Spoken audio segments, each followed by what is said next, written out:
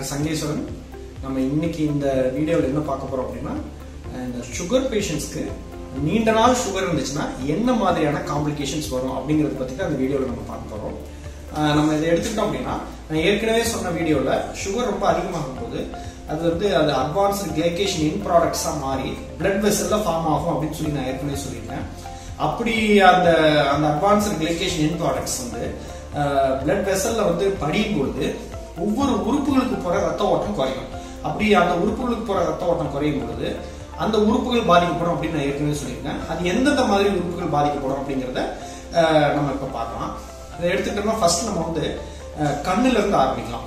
கண்ணுல நமக்கு வந்து பிளட் சுகர் அதிகமாகும் போது அந்த லென்ஸ்ல போயிட்டு அது வந்து படியும் அப்படி படியும் பொழுது நமக்கு வந்து கேட்ராக்ட் மாதிரியான பிரச்சனைகள் வரும். இமெச்சூர் கேட்ராக்ட் மாதிரியான பிரச்சனைகள் வரும்.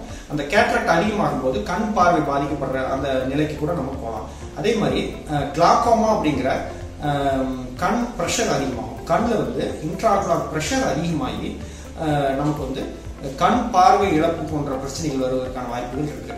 அதுக்கடுத்து நீங்க பாத்தீங்க அப்படின்னா விழித்திரை பாதிப்பு அதாவது ரெட்டினல் டேமேஜ் இந்த ரெட்டினா ரெட்டினல் டேமேஜில் ரெண்டு டைப்ஸ் இருக்குது ஒன்று வந்து ப்ராலிஃபரேட்டிவ் ரெட்டினோபதி இன்னொன்று வந்து நான் ப்ராலிஃபரேட்டிவ் ரெட்டினோபதி இது என்ன அப்படின்னா இந்த விழித்திரை பாதிப்பு வரும். இந்த விழித்திரை பாதிப்பு அப்படிங்கும்போது அந்த விழித்திரையில் அந்த ரெட்டினாவோட நியூ வெசல்ஸ் ஃபார்மேஷன் வரும். புதிய ரத்த குழாய்கள் அங்கே ஃபார்ம் ஆகும் சுகர் பேஷண்ட்ஸ்க்கு அப்படி ஃபார்ம் ஆகும் பொழுது அந்த ரத்த குழாய்கள் ஒரு ஒரு ஒரு ஸ்டேஜில் வந்து அது உடஞ்சி அதுலேருந்து ரத்த கசிவு ஏற்பட்டு ஏற்பட்டுச்சு அப்படின்னா அந்த விட்ரியஸ் ஹெமரேஜ் போன்ற பிரச்சனைகள் வந்து அது வந்து மீண்டும் சரி பண்ண முடியாத அளவுக்கு பார்வை இழப்பு வருவதற்கான வாய்ப்புகள் கூட இருக்கு. ஸோ கண்ணில் இந்த மாதிரியான கேட்ராக்ட் ஒரு கிளாக்கோமா அதுக்கப்புறம் வந்து ரெட்டினல் டேமேஜ் போன்ற பிரச்சனைகள் வருவதற்கான வாய்ப்புகள் இருக்கு. அதனால இந்த சுகர் பேஷண்ட்ஸ் எல்லாருமே டைப் ஒன் ஆகட்டும் டைப் டூ டயபெட்டிஸ் ஆகட்டும் எல்லாருமே வந்து வருடம் ஒரு முறை கண்டிப்பாக அவங்க கண்களை கண் மருத்துவரிடம் காட்டி பரிசோதிக்கிறது நல்லது. அதுக்கடுத்து நம்ம பார்த்தோம் அப்படின்னா நியூரோபத்தின்னு சொல்லக்கூடிய நரம்பு பாதிப்பு.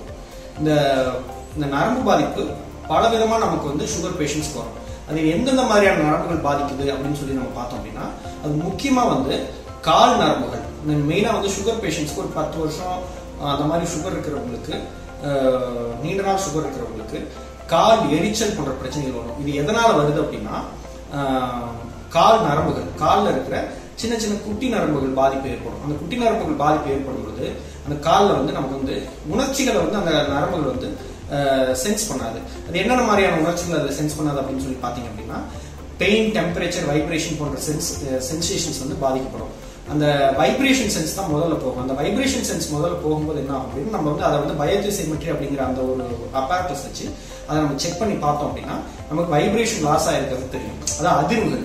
அதிர்வுகளை வந்து அந்த கால் வந்து பிக் பண்ணாது. அப்படி அதிர்வுகளை பிக் பண்ணாமல் இருக்கும் அந்த பெயின் சென்சேஷன் டச் சென்சேஷன் இதெல்லாம் போயிடுச்சு அப்படின்னாலோ நம்ம காலை எங்கே வைக்கிறோம் தெரியாது. கீழே ஏதாவது முள்ளு குத்துனாலோ இல்லை ஏதாவது ஒரு ஒரு நமக்கு ஏதாவது பட்டாலோ நமக்கு அது தெரியாது. அப்படி இருக்கும் பொழுது கண்டிப்பாக அது வந்து அது புண்ணா மாறி புண் அதிகமாகும் பொழுது அதை வந்து சர்ஜரி பண்ணி சரி பண்ணக்கூடிய அளவுக்கு கூட நமக்கு வரும். ஸோ அதனால சுகர் பேஷண்ட்ஸ் எல்லாருமே கால் எரிச்சல் கால் வலி இது போன்ற பிரச்சனைகள் இருந்தால் பயோதிசிமெட்ரி செக்அப் பண்ணி அவங்களுக்கு எந்த அளவுக்கு அந்த நரம்பு பாதிப்பு இருக்கு அப்படிங்கிறத பார்த்துக்கணும். அதே மாதிரி அவங்க தனிப்பட்ட முறையில் ஒவ்வொருவரும் வந்து அவங்களுடைய பாதங்களை வந்து தனிப்பட்ட முறையில் பார்க்கணும். அது ஒவ்வொரு பேஷண்ட்ஸும் வந்து டெய்லி வந்து பா- நல்ல ஃபுட் ஃபுட்வேர் நல்ல குவாலிட்டி ஃபுட்வேர் போட்டுக்கணும்.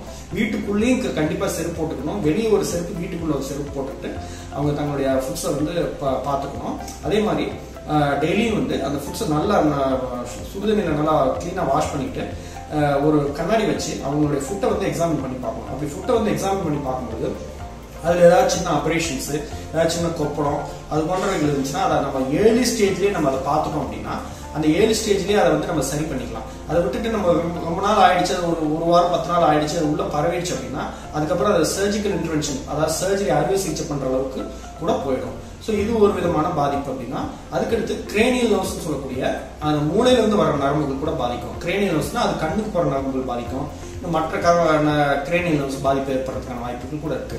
அதுக்கப்புறம் நீங்க பாத்தீங்க அப்படின்னா அட்டானமிக் நியூரோபதின்னு சொல்லுவாங்க. அட்டானமிக் நியூரோபதி அப்படின்னா நம்ம பிளாக் அதாவது நம்ம சிறுநீர் கழிக்கிற தன்மை நம்ம மோஷன் போறது இந்த இது இது போன்ற இதுக்கெல்லாம் வந்து நரம்புகள் இருக்கு. இந்த நரம்புகள்லாம் வந்து பாதிக்கப்படும். சிறுநீர் வந்து சரியா நமக்கு வந்து அடிக்கடி வர்றதாகட்டும் இல்ல சிறுநீர் நம்ம அடைச்சிக்கிறதாகட்டும் இந்த மாதிரி இது போன்ற பிரச்சனைகள் யூரின் சரியா பாஸ் பண்ண முடியாத பிரச்சனைகள் வரும். அதே மாதிரி மோஷனுக்கும் நீங்க பாத்தீங்க அப்படின்னா இந்த டயபிட்டிஸ் பேஷண்ட்ஸ் நீண்ட நாள் டயபிட்டிஸ் இருக்கிறவங்களுக்கு கான்ஸ்டிபேஷன் டயரியா போன்ற பிரச்சனைகள் அதாவது மோஷன் வந்து அடிக்கடி போயிட்டே இருக்கும். ஒரு நாளைக்கு மூணு முறை நாலு முறை போகிறதாகட்டும் இல்லை மோஷன் சரியா போகாம இருக்கிறதாகட்டும் கான்ஸ்டிபேஷன் போன்ற பிரச்சனைகளாகட்டும் இது போன்ற பிரச்சனைகள் வரும். அதே மாதிரி எரக்டைல் டிஸ்ஃபங்க்ஷன் அதாவது ஆண் உறுப்பு விரைப்புத்தன்மை பாதிப்பு ஏற்படுவதற்கான வாய்ப்புகள் கூட இருக்கு. நீண்ட நாட்கள் வந்து நமக்கு வந்து சுகர் வந்து அது சரியா அன்கண்ட்ரோல்டு டயபெட்டிஸ் சொல்லக்கூடிய அந்த சுகர் வேல்யூஸ் ரொம்ப அதிகமாகவே இருக்கும் பட்சத்தில் இது போன்ற bladder bowel dysfunction erectile dysfunction போன்ற பிரச்சனைகள் வருவதற்கான வாய்ப்புகள் இருக்கு. இப்போ இப்ப சொன்ன மாதிரி இன்னும் நிறைய உறுப்புகள் வந்து சுகர் அதிகமானா பாதிப்பு அடைவதற்கான வாய்ப்புகள் இருக்குது அதை வந்து நம்ம அடுத்த வீடியோவில் பார்க்கலாம். தேங்க்யூ